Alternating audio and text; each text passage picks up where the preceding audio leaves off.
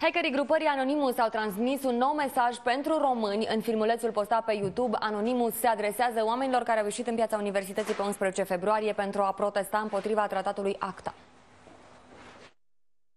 Greetings citizens of Romania, we are anonymous. Așa începe mesajul video de puțin de peste 3 minute, la începutul căruia hackerii comentează situația politică de la noi din țară. It's hard to believe for us that you can't feel the abuses made by your politicians in the last 20 years. Seems that you need a leader. You don't. You don't need help from anyone. You have all the resources and all the manpower you need. The key is to organize yourself. El face referire apoi la tratatul ACTA, pe care politicienii români l-ar fi semnat deja în secret. They signed in secret anti-counterfeiting trade agreement hoping that you will never find out. Now you know, but you act like you don't care.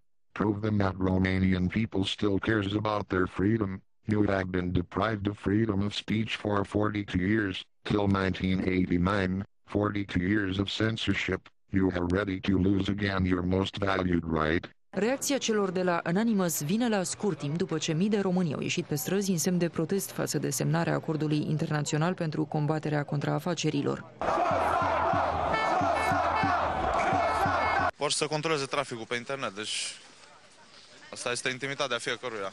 Nu se poate așa ceva. Chiar așa s-a ajuns. E o formă de cenzură. Noi ne-am săturat de orice formă de cenzură. Tratatul ar urma să schimbe complet legile internetului. De exemplu, oricine va distribui pe internet opere fără să dețină drepturile de autor va putea fi sancționat juridic. Proiectul nu are susținător nici printre unii parlamentari europeni. Dezbaterile ACTA vor începe în vară în Parlamentul European.